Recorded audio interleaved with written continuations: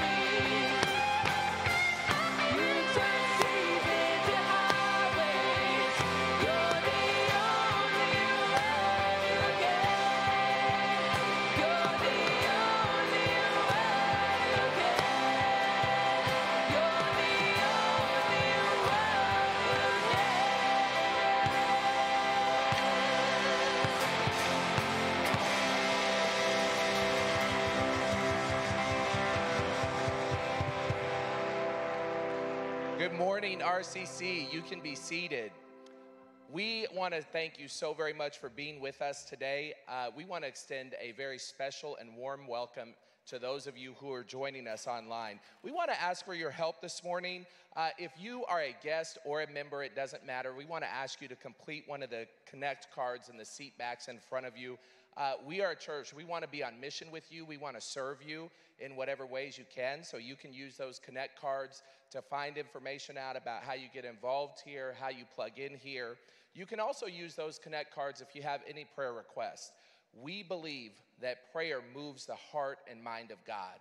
And so our board, our staff, our elders are very intentional on a daily basis, on a weekly basis, with praying over and with you for any requests that you have. So we definitely want to encourage you to use those as well. You can also put the Connect cards in the trays by the crosses to your left or right, or in the giving boxes as you exit. There are so many different ways to get plugged in here. We have incredible ministries here at RCC. And this morning, it is my privilege and honor to invite Maureen Knotts and Stacy Doss to share about one of those ministries, our mom's ministry. Please give it, give it up for them. Hi, church family. It's so good to be together this morning. Uh, my name is Stacy Doss, and this is Maureen Knotts, and we are the ministry leaders for the Moms Ministry here at RCC.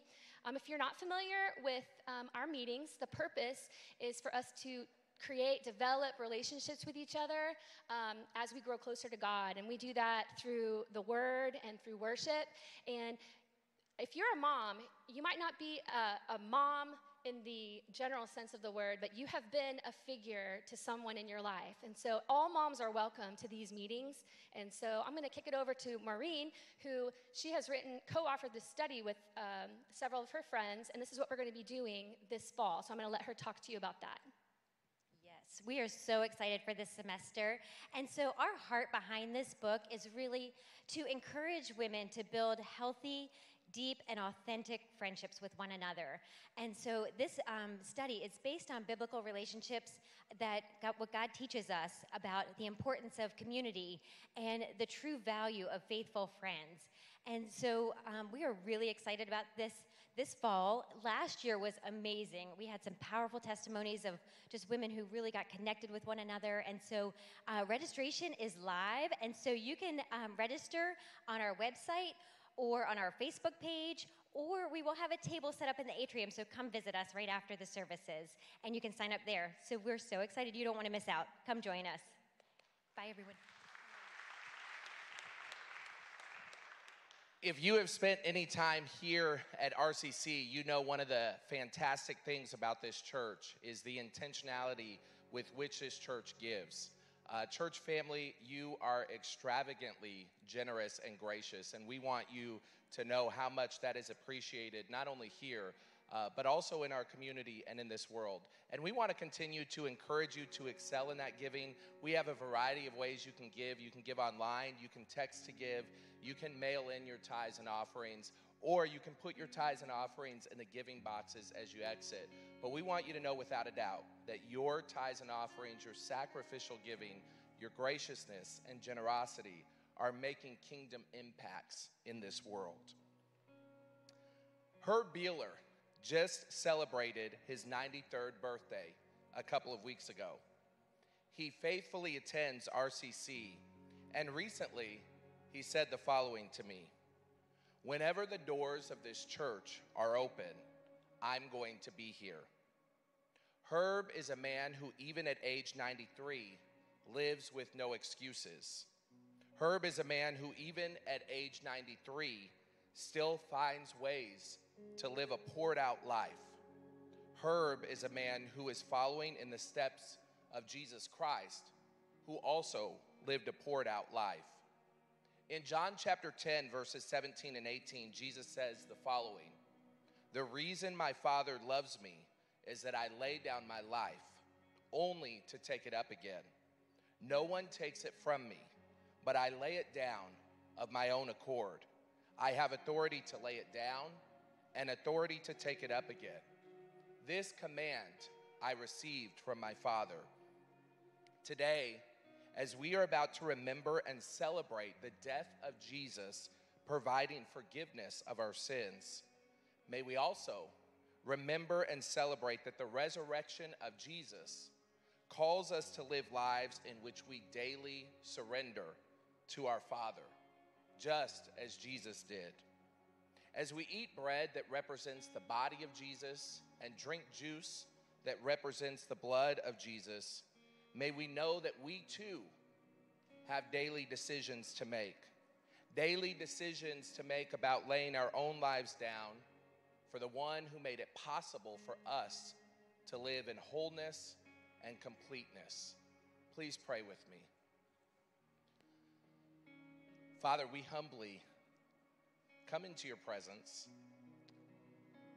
But although in humility, we come with the greatest amount of boldness and confidence because we recognize that you stand in every single gap where we are deficient and where we are lacking.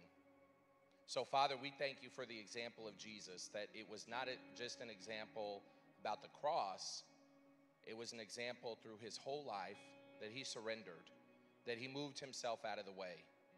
And so, in this time that we get to take communion together and remember the death, burial, and resurrection of Jesus, to celebrate the death, burial, and resurrection of Jesus, Father, may we also remember and celebrate that we get to live resurrected lives, lives in which we get to choose surrender, surrender for your honor and your glory. And we ask all these things in Jesus' name. Amen.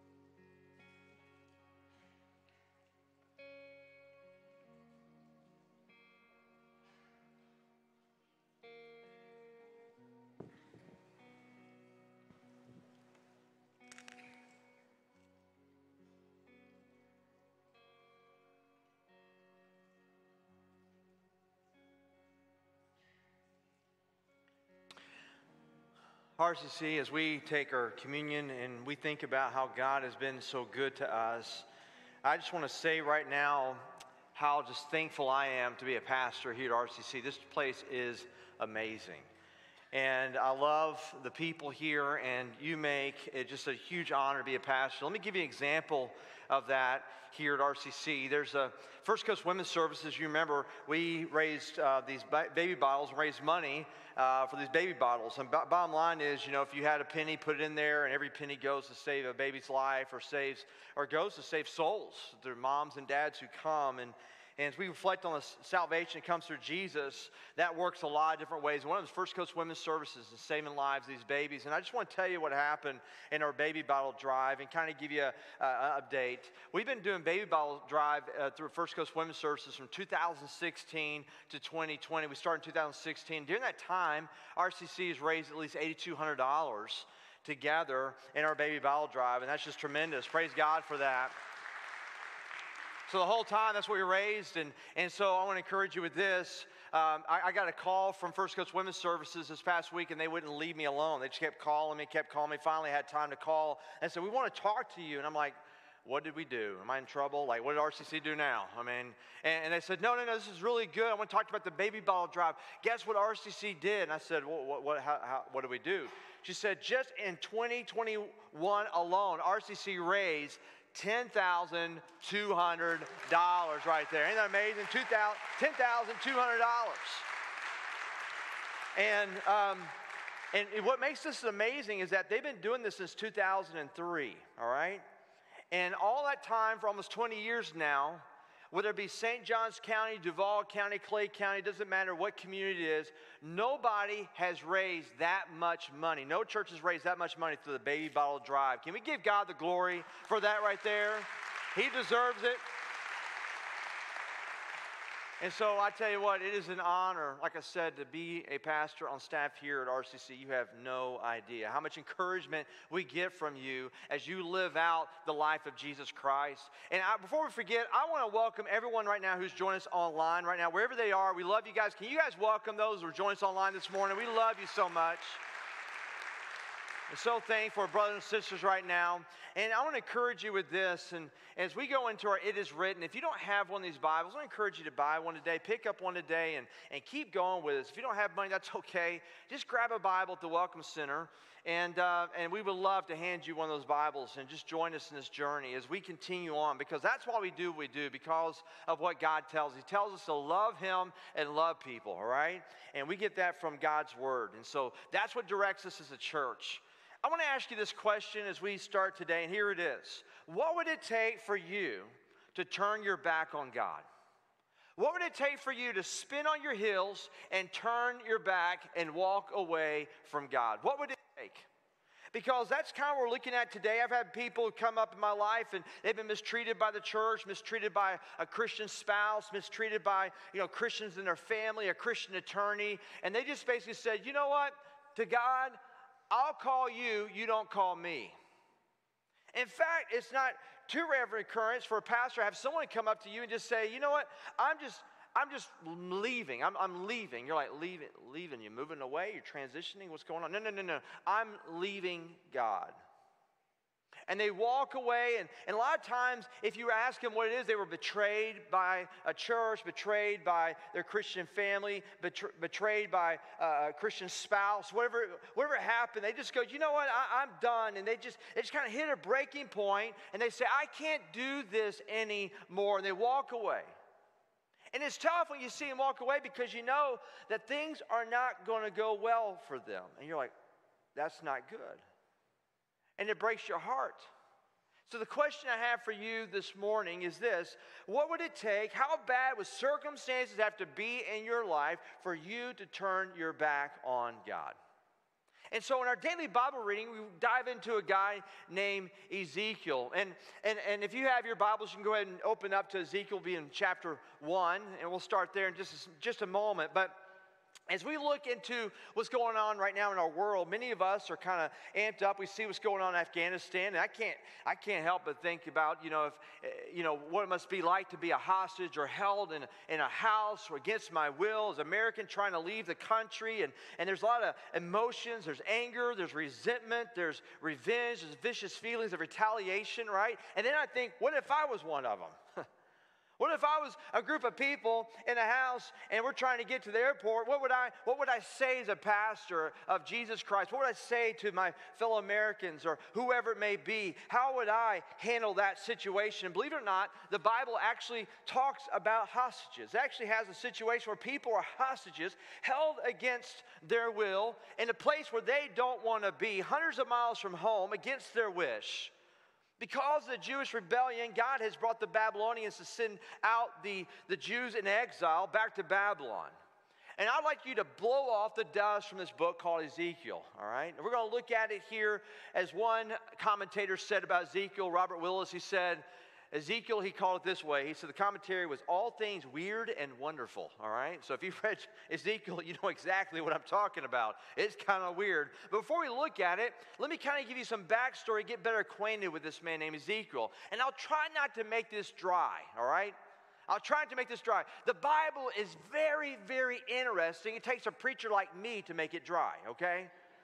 And so here we are in Ezekiel chapter 1. It says this In my 30th year, he says, in the fourth month of the fifth day, while I was among the exiles by the Kebar River, if you ever traveled to South Florida or Southern California, you'll see canals all over the place. And these canals send water from one source, like in this case, the Euphrates River, send it to the innards of the land to make it fertile where they can raise crops. This actually Kebar River is a canal that goes 60 miles. It's pretty impressive.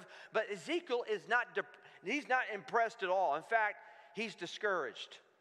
And he's, he's among discouraged people while he is by this canal, the Kebar, the Kebar River.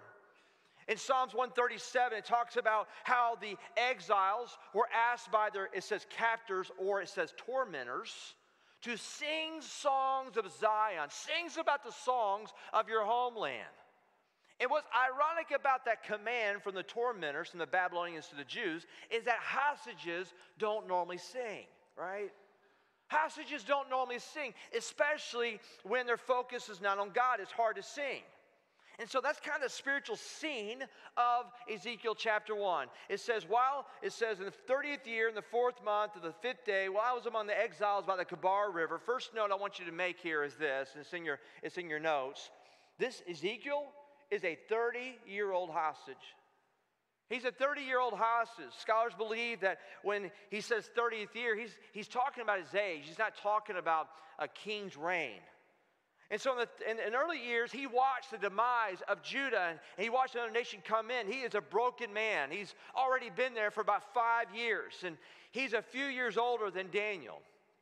Daniel, we're going to talk about later, is a contemporary of Ezekiel. Daniel is serving right now in the government system. He's, he's got a prominent role in the government, while Ezekiel, as, an, as a Jew, a fellow Jew, is among the people. And he's teaching as a prophet in the land among the people. And I think it's pretty amazing how God can put this man or this woman and this person over here, put Joe over here and Sarah over here and, and, and Nathan over here and Bob over here and Rebecca over here to accomplish certain amazing things at certain times for his purpose. And so Daniel and Ezekiel are contemporaries. They have different gifts and, they're, and they have different uh, capacities the second thing you know about Ezekiel is this Ezekiel is a married man. He's a married man. And you have to understand that context when you read what we're about to read right now in chapter 24. So if you have your Bibles, go ahead and open up to chapter 24. We're going to go there, and this is expand from chapter 1 to chapter 24, four, four years. So, four years later, in Ezekiel chapter 24, we see this tragic piece of information. It starts in verse 16. Actually, says before that, the word of the Lord came to me. And then Ezekiel says, here's what the word of the Lord is in verse 16 Son of man, with one blow, I'm about to take away from you the what, church? The delight of your eyes. What? With one blow, I'm about to take away the, the delight of your eyes. Do not, yet do not lament, do not weep, do not shed any tears. What? Groan, he says, eh, quietly. Do not mourn for the dead. Keep your turban, turban fastened, your sandals on your feet. Do not cover your mustache and beard or eat the customary food of mourners. In other words, I don't want you grieving when you lose the delight of your eyes. And then it says this in verse 18 So I spoke to the people in the morning, and in the evening, he says, What happened? My wife died. The next morning, I did as I had been commanded. Note that God told Ezekiel ahead of time that he was going to take the delight of his eyes away. In fact, if your spouse is with you, all right, if you, if you have your spouse right now in the room, I want you to look at them right now and say, uh, You're the delight of my eyes. Go ahead right now and turn it to your spouse. You're the delight of my eyes. Go ahead. Husbands, lead the way here. My wife, you're the delight of my eyes, Rachel, all right?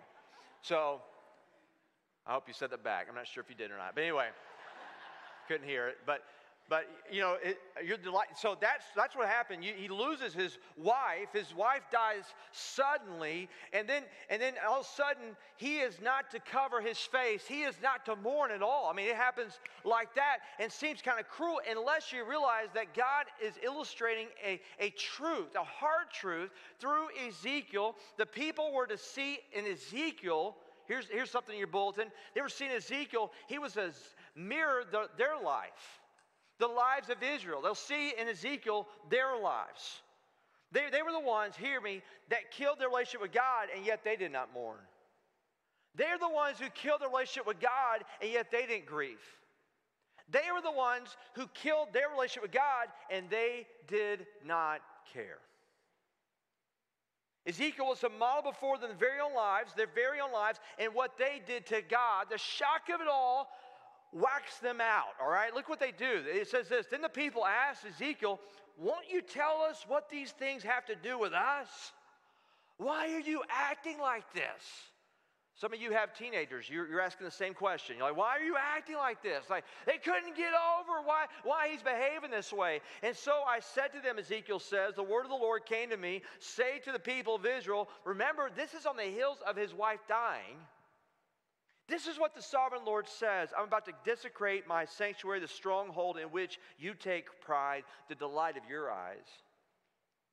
With this modeled through Ezekiel's life, he's showing this. The object of your affection, The sons and daughters you left behind will fall by the sword, and you will do as I have done. You will not cover your mustache and beard or eat the customary foods of mourners. You will keep your turbans on your heads and your sandals on your feet. You will not mourn. You will not weep, but you will waste away because of your sins and groan among yourselves. Ezekiel, he says, this is God saying, Ezekiel will be a sign to you. You will do just as he has done.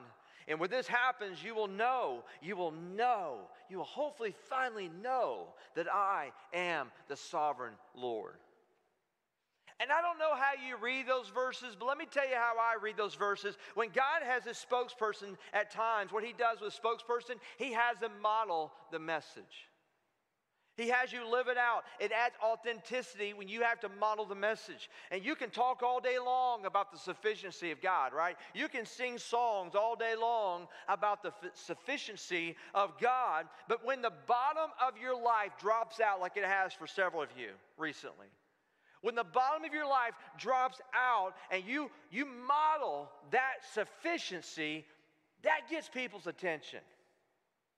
I mean, you can sing songs all day long, but when you model it, as people watch you live your life, man, it's a wake up call for people around you. Your neighbors cannot ignore it when you respond to tragedy that way. Your family cannot ignore it when they see you remain stable going through a storm. As God calls upon you to model that message, to, He says, Hey, I want you to wear it. It's like putting clothes on. All right? He, God says through Ezekiel, they will see my message that it's true, that it's authentic.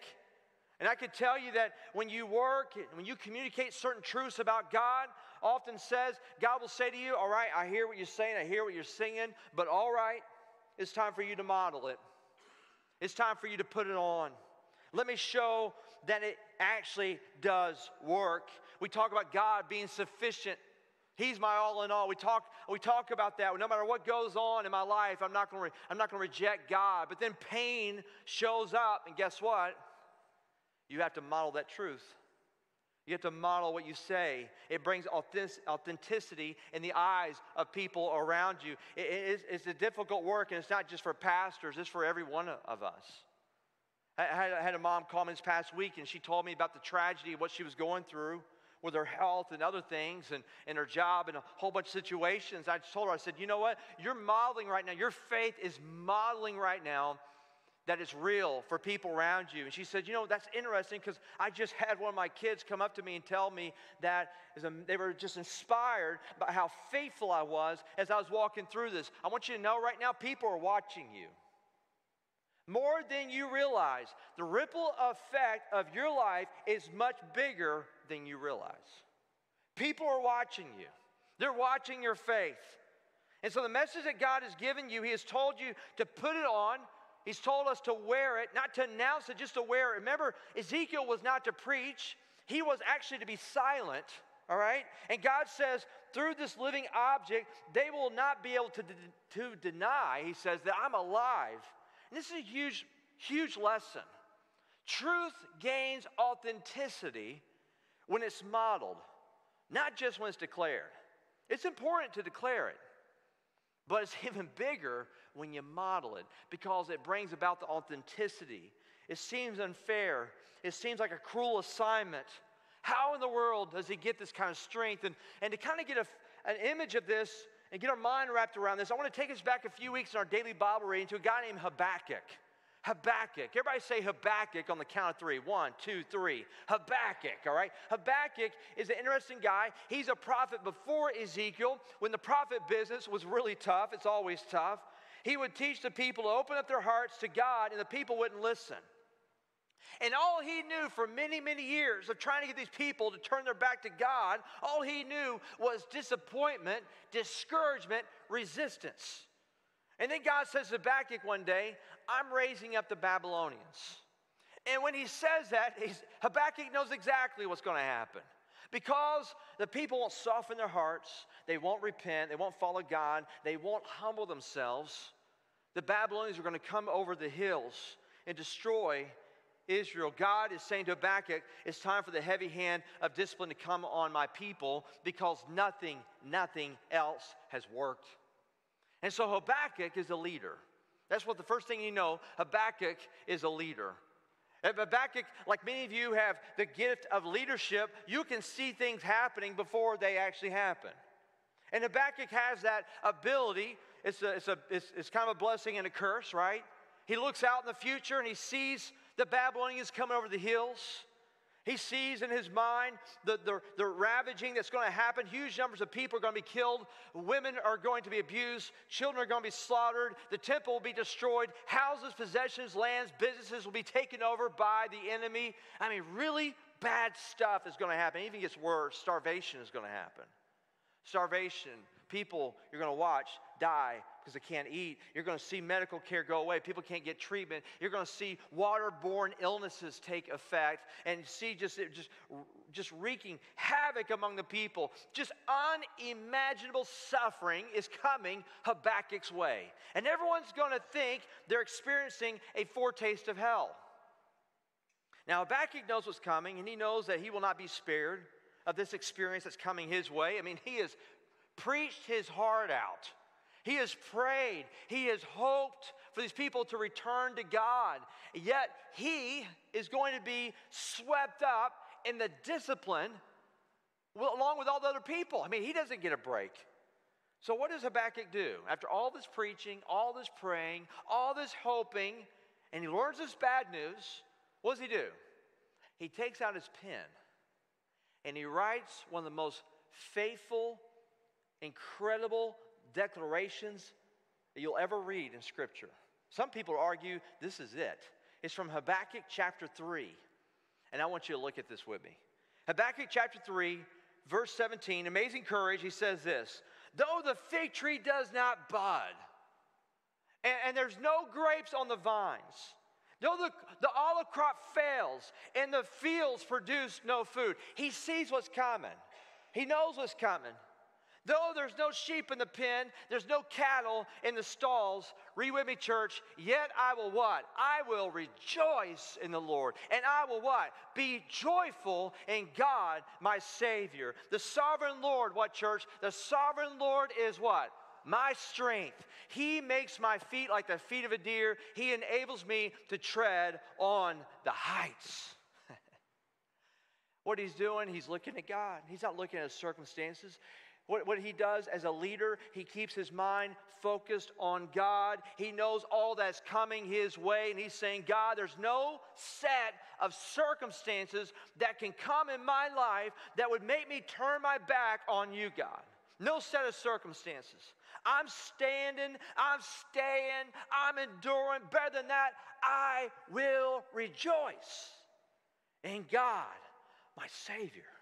And he says, when everything collapses around me, when the harvest is gone, the economy goes south, even though we'll be occupied by wicked forces, I'm not to cave. I'm to stay strong. I'm to find my joy in you. That's the end of it. That's how I'm to roll. That's how I'm to stand. Well, the question has to be asked how does a guy stand like that? How in the world does he take that? How, the, how, how, does he have that much courage? How does he have much, that much faith? Has he gone over like this psychotic edge? Like, is that what's going on here? And I think the answer is embedded right in the text when he says, You know what? My sovereign Lord, he gives me strength. The sovereign Lord is my strength. That's where I draw my strength. I will be joyful in God, my Savior, who will enable me to do what I couldn't do. He will give me strength when I don't have the strength. There's been times in my life, this is what's so important about Christian community. There's been times in my life when I couldn't pray, and I'm so thankful for people in this church who could pray at times when I couldn't pray. Sometimes we need the strength of others through God around us. He's going to be the source of my strength. Now, let's think about this for a second. Here's a statement I want you to chew on. The best things in life, guess what? Are not things. The best things in life are not, are not things. Say that with me on count three. One, two, three. The best things in life are not things. How many of you guys believe that? Raise your hand if you believe that. The best things in life are not things. And that's true. But I want you to think about this for a minute. Habakkuk sees the impending doom coming, economic situation coming, and he's saying this if every external comfort is ripped away in my life, I will find the internal comfort that I have in God and being in relationship with God. He is my Savior. That will be my strength. That's all I need. That will be enough. When all those external gifts are stripped away, I think being a redeemed relationship with God, I think that will be enough for me. These guys are incredible. How do they have that much faith in the face of tragedy? Is my question. Truth about me, not pretty, but true. My ability to worship and rejoice in God is painfully too dependent upon the circumstances in my life. Let me just be honest. Again, I'm not proud of it, it's just true. I, I don't know about you, but sometimes if a handful of circumstances in my life don't they go south, I go from being a worshiper to a whiner. All right, is anybody else with me? All right, do you do that? I mean, I, I go from being a worshiper to a whiner, like you know, in 0.6 seconds. All right, I can, I can, I can quote, you know, Psalms, uh, uh, Psalms 8. Oh Lord, how majestic is your name in all the earth. And I walk out the doors, and something happens, like, oh Lord, no. You know, all of a sudden, I just start crumbling sometimes. And in the few times that my health has gone bad, you would not be proud of your pastor. Very tempting to, to kind of have a self pity instead of praise, right? Instead of adoration to God enduring with his strength, which makes me ask the question what in the world does Habakkuk, what does Ezekiel have that I don't have? And I've been asking that question over the last several weeks, and the answer is not pretty. And I don't know how to I don't know how to put this together. I'm trying to figure out how to communicate this. So this is the best shot I got. Here it is. Ezekiel and Habakkuk wanted God's favor more than they wanted God's gifts. they wanted God's favor more than they wanted God's comforts and God's blessing. Habakkuk knows that all the economic gifts are about to be taken away from the enemy. He says, You know what? I think I can make it without those gifts. Ezekiel is about to lose the delight of his eyes, and he does, and he says, You know what? The one thing I can't live without is the favor of God. I need his presence in my life. I cannot live without your love for me, God. I know I'm still favored. I know you're present among me. I know you love me. And I'm declaring to you today, this very day, but before the onslaught, even though the fig trees are not budding and there's no grapes on the vine and the crops are failing and there's no food, there's no sheep in, in the pen, no cattle in the stall, he says, Yet, yet I fully intend to keep rejoicing in you, God. Take the externals away I have my eternal Savior. He's my strength. And if all I have is you and it all goes away, I declare today, he says, you will be enough. You will be enough. Now think about it for a moment. Can you say that? Can you say that? Can you say, I still have God?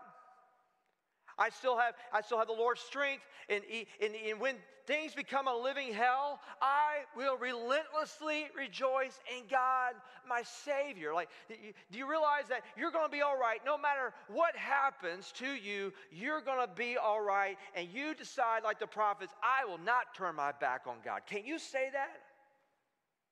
I think about my friend Scott. Scott is uh, my best friend in college. In fact, I named my youngest son River. His middle name is Scott after this guy right here. Scott and I uh, did a lot of things together. Scott was always kind of a, a wild, a wild guy, but he he continued to grow in the Lord. He got married.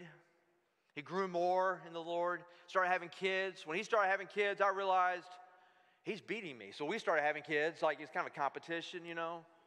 Now both of our oldest are now gone to college, and it's just amazing to think about how, how um, Scott has just ripple affected in my life in so many ways. And I saw him grow when he had children. I saw him grow even further when he was diagnosed with cancer. I saw him continue to fight and continue to grow his family during that, during that trial. And then at age 33, one of his last social media posts was when he posted the words from Paul, who said these words while Paul was in prison. Scott took them on as his battle cry. He says, I will rejoice. I will say it again, rejoice. And Scott died at age 33. And I think to my life, and I think about Scott's life, and it hit me after he passed that he never complained, he never whined, he never played the victim card. He always fought, he was always faithful, and he was always thinking of other people all the way to the end. All he had was God at the end. And guess what? For Scott, that was enough. That was enough. And to the people of RCC, I want to ask you what's at the core? What's at the core of your relationship with God? What's at the core of the core? Are you mainly into God because you want His blessings and you want the magic wand when you pray? You want His provisions, you want His gifts, you want His comfort? Is that what you're really into with, with God? Or at the core of it all, would you be quite content if He really is all that you had? Could all the best things in life be taken away, and could you find joy in this life with just Him? As I was thinking about Ezekiel, I was thinking about Habakkuk. One thought that came to my mind, and that is they both held on to God. Even though everything was stripped away, both of these men knew that their little story was fitting into a bigger story. It was fitting into God's redeeming narrative of restoring this broken world. These men knew that they were called to work in their community so God could infuse in that community restoration.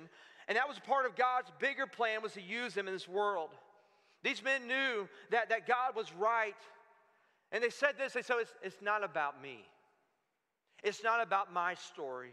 It's not about my personal story. I'm a part of a larger story. And I'm going to say, they said this to God. They said, God, your ways are higher than my ways. I'm going to say, God, can you just work it out? So that my story, however you want to write it, can fit into your bigger, greater story because that is where I find meaning, they said. I find meaning when my little story, my little life, my little meager life fits into your greater, bigger story. And the happiest Christians I know are the ones who have settled once and for all who is this all about? What is my life? Who is it really about? Remember Paul? Paul cries out and he says these words in Acts 20. He says, It's not about me. it's not about my little meager circumstances. He says, But my life, look at this, my life is worth nothing to me unless I use it for finishing the work assigned me. My life's worth nothing unless I finish the work assigned to me by the Lord Jesus. Okay, well, what's that work? That's kind of the question I have. What's the work? Well, the work of telling others the good news. That's the work. That's my purpose. About the what, church? About the wonderful grace of God. That's your purpose. That's why you have air right now in your lungs. That's why your brain is firing off. This is your purpose to tell others about the wonderful grace of God. You're looking for your purpose? There it is. It's all about God. Is what Paul's saying. It's not about me. It's about his story, his purposes in this world, about my meager, meager life working its way into syncing up with God's greater bigger story. That's what brings me purpose. And the question I have for you, RCC, is can you say that? Can you say that?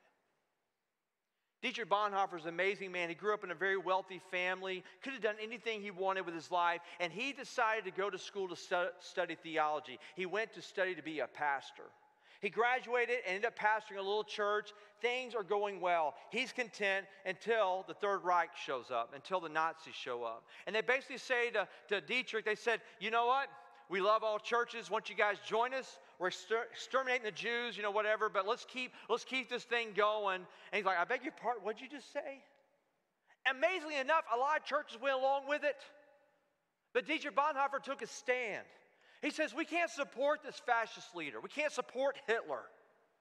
And so he took a stand, they prayed about it, and when they took their stand, the worst thing possible happened. They came in, the Nazis shut down their church, they arrested Dietrich, they put him in prison, and he was there for several years until one day they brought him out in the courtyard.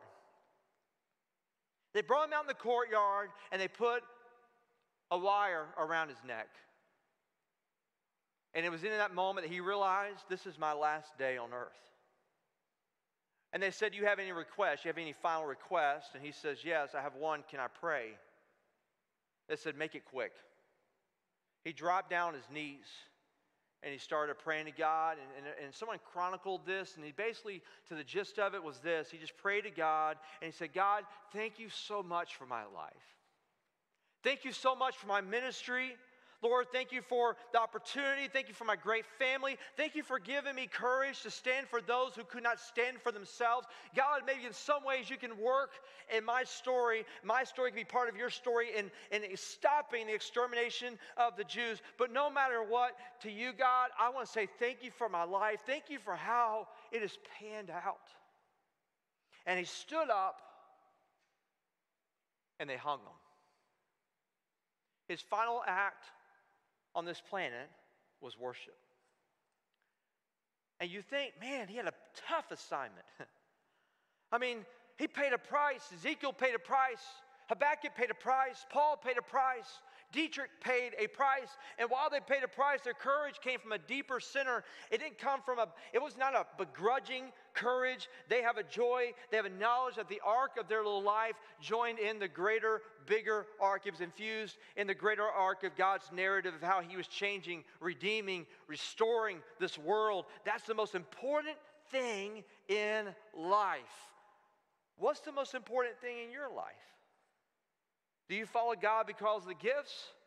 Or are you a Christ follower who would say this God, there are no set of circumstances that could come in my life that would make me turn my back on you. In fact, I will stay faithful no matter what comes. I will rejoice. I will be joyful in God, my Savior. Is that you? Can you say at the core of your core, can you say these words? My hope, my only hope, is built on one thing, and that is nothing less than the blood of Jesus Christ. Can you say that, church? Is that what it's really about for you? You know, I'm so thankful for our online community that joins us because, you know, a lot of stories are happening right now online. And one of those stories is I got to visit a guy named Don Loop this past week, and Don watches us every week online, he and his wife Nancy. He's, he's not able to because of his health to come here, and, and um, he's so thankful for what God is doing. He's so thankful to be part of RCC. Even though he can't be here in person, he is so thankful to be part of RCC. And uh, so giving and so wonderful, so encouraging. And amazing thing about Don is as, as he was struggling this past week, I talked to him, he just encouraged me. And even though his health is, is failing, he decided to encourage and bless me. I thought I came to encourage him, he was encouraging me. And Don went home with the Lord yesterday. And I think to myself, at the end of his life, all the way to the end of his life, he finished strong. His hope was in nothing else, nothing less than the blood of Jesus Christ and his righteousness. And I hope I can end like that. I want to end my days encouraging a pastor, encouraging someone in the name of God, not playing the victim card, not going, what was me, just right now, just going, you know what, God, no matter what comes my way, I'm going to rejoice. I'm going to be joyful. And it's because of your strength. It's not my strength, it's because of your strength. I want to end strong. And today, we're about to sing a song. I'm going to encourage you. As we sing this song, I hope you'll take the lyrics to heart. We sing this song a lot. A lot of us have grown up singing these lyrics. But right now, I want you to pay attention to the words that are coming out of your mouth. My hope is built on nothing less than Jesus' blood and his righteousness. That's where my hope is built, nothing else except the blood of Christ. Will you stand right now? Will you stand? We're going to sing the song, but before we do that, we're going to make a faith declaration, all right? And I need you right now. I want, I want us to say this with confidence. I know many of us are going through trials. That's what Habakkuk's talking about. But at the end of the day, when we get to the highlighted part, I'll rejoice in the Lord. I'll be joyful in, in, in, God, my Savior. I want you to say it like you mean it, all right, church? You guys online, you join us too. I don't care if you're in New York right now or in Alabama, join us. I want to hear you. Let's say, let's speak the faith declaration, this poem that Habakkuk wrote, and let's make it come from the core of our soul. Let's say this together. Though the fig tree does not bud, and there's no grapes on the vines, though the olive crop fails, and the fields produce no food, though there's no sheep in the pen, and there's no cattle in the stalls, yet what, church? I will rejoice in the Lord. I will be joyful in God, my Savior. The sovereign Lord is my strength. He makes my feet like the feet of a deer. He enables me to tread on the heights. Can we give God the glory right now? Can we give him the praise? He deserves it. So, whatever situation you're in, we would love to pray for you. Go to the crosses on your left, your right. Maybe today's the day you proclaimed, you know what? Lord is my strength. For the first time, let us know. You can give your life to Jesus Christ. Let us know by that card. If you're online, hit the request prayer button. We would love to do that. Whatever it is right now. You need prayer. You need to repent. You need to recommit. You need to be baptized. Whatever it is, once you make that move, tell us at the cross.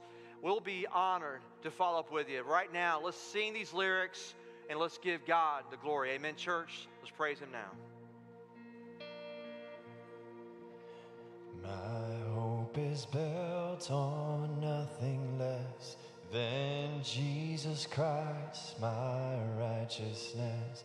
I dare not trust the sweetest friend, but only trust in Jesus' name.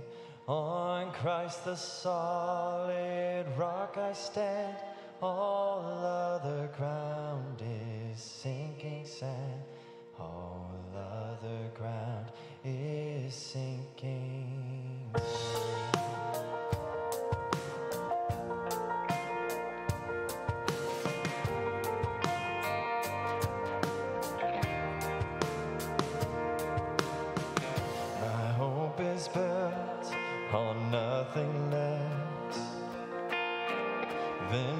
Jesus' blood and righteousness. And I dare not trust the sweetest friend, but only trust in Jesus' name. Sing again. My hope is built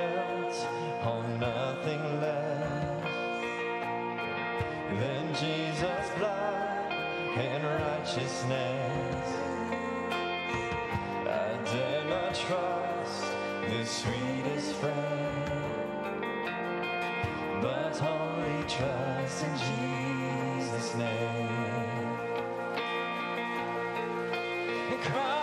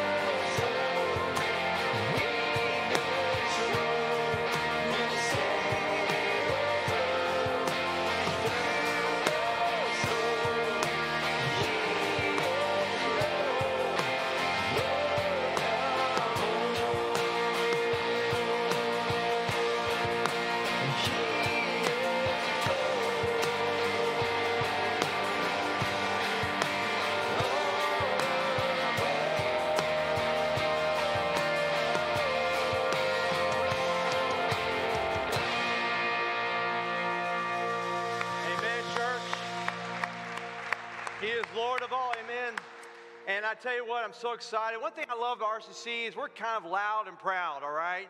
And one way we do that is our decals. In fact, many of you are here because of those decals, believe it or not. And I want you to notice something. When you put a decal on, I want you to notice what happened to this car right here, all right? Notice the part that did not get messed up, all right? so if you want your car protected, go ahead and just put them all over like a force field, okay? So we got them out there for you. Go ahead and grab one, slap it on your car, somebody else's car. Let's spread the word and bring more and more people here. Hey, I'll encourage you with this. That is our Human Life Protection Amendment. We're asking you guys to sign that. We want this on for 2022 on the ballot. So, thus far, we have a well, our goal is 1,000. Right now, we have 985 that have basically almost, we're almost there, church, almost there before this year, before this weekend. So go ahead, fill that out. Let's put on the ballot. Don't forget about moms, moms out there. Also, Zero Dark Early men. Hope to see you. Hope to see you at Zero Dark Early this Saturday at 5:30. I want you to know one more thing, RCC. God is with you. God is being pronounced and saving lives for you. Can we give God the glory one more time before we leave together? He is Lord of all. He is with you. Go be a blessing. Go change the world. We love you guys. See you soon.